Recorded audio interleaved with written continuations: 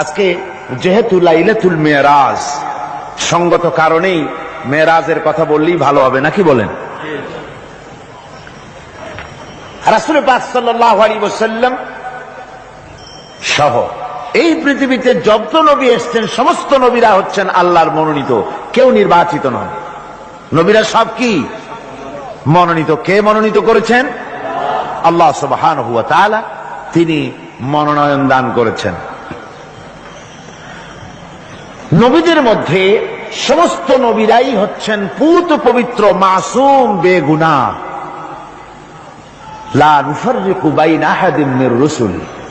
আমরা নবীদের মধ্যে কোনো পার্থক্য সূচিত করি না। আমরা সমস্ত নবীদের উপর ইমান আনি। তবে নবীদের মধ্যে আল্লাহ রব্বুল আলমিন কারও কারও ফজিলত কারও থেকে কিছু বেশি করেছেন?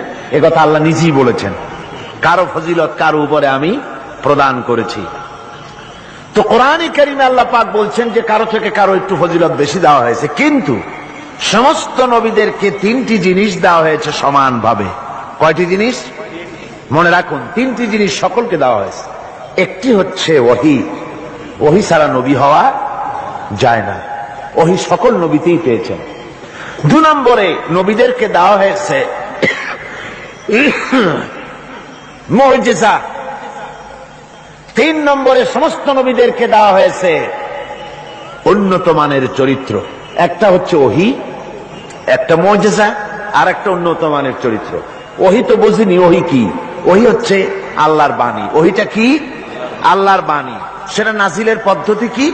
আল্লাহ রব্বর আলমিন কোন বান্দার সারে সরাসরি কথাবার্তা বলেন না।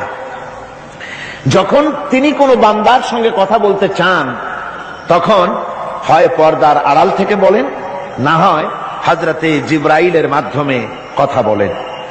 তো এভাবে করে ওহি দিয়েছেন সমস্ত নবীদেরকে আর একটা দিয়েছেন মর্যাদা মর্যাদা বলা হয়, যে কোনো শক্তিশালী জিনিসকে দুর্বল করে দেওয়ার মতো ক্ষমতা যার, ওইটা কি বলা হয় মর্যাদা আর এই মর্যাদা দেওয়া হয়েছে, যে যুগে যে জিনিসের প্রভাব বেশি ওই প্রভাবিত জিনিস, ওই প্রভাব সম্পন্ন জিনিসটাকে, শক্তিশালী জিনিসটাকে দুর্বল করে দেওয়ার মতো শক্তি আল্লাহ নবীদেরকে দান করে দিয়েছেন। যেমন, এক একজনকে এক এক মর্যাদা দেওয়া হয়েছে।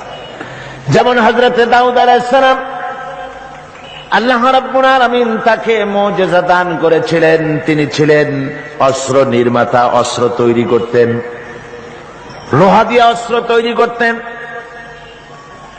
অস্ত্র যারা বানায়, লোহা দিয়া যারা জিনিস বানায়, লোহাকে শ্বাসে আনাবার জন্য, ইচ্ছে মতো গড়ার জন্য লোহাকে পোড়াতে হয়, পোড়ায়া, নরম বানায়া, পিটায়া, তারপরে আকৃতিতে আনা লাগে।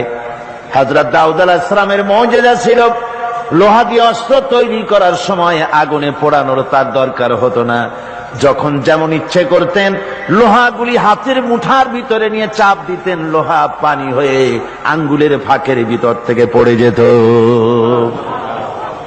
এই মর্যাদা ছিল হাজরতে দাউদ আলাহিসামের সুলাইমান আলাহিসামের মর্যাদা ছিল। তক্তার উপরে বসতেন, কোন রকমের ইঞ্জিন, কোন রকমের মেশিন ছাড়া তক্তার উপরে বসে যেতেন, তক্তা হাওয়ার উপরে ভেসে বেড়াতো। ইচ্ছে মতো তাম দুনিয়া তিনি সবর করতেন। বিনা ইঞ্জিনে এটার উপরে তিনি চড়ে বেড়াতেন। হিসালামের জামানায় চিকিৎসার প্রভাব বেড়েছিল দারুণ ভাবে সে সময় আল্লাহ রব্বুর আরবিন তাকে মর্যাদা দিলেন। অন্ধ লোকের চোখের উপরে হাত বুলোতেন। অন্ধ সাথে সাথে চক্ষুমান দৃষ্টিশক্তি সম্পন্ন হয়ে যেতেন, চক্ষুষ্মান হতেন। কুষ্ঠ ব্যাধিগ্রস্ত লোকের গায়ে হাত বলিয়ে দিতেন, সঙ্গে সঙ্গে তার রোগ ভালো হয়ে যেত। এ ছিল তার মর্যাদা হাজরাতে মুসা আলাহিসাল্লামের জামানায় ছিল, সেই জমানায় প্রভাব ছিল জাদুর জাদুর প্রভাব। এই সময় আল্লাহ রব্বুর আলমিন তাকে মর্যাদা দিলেন।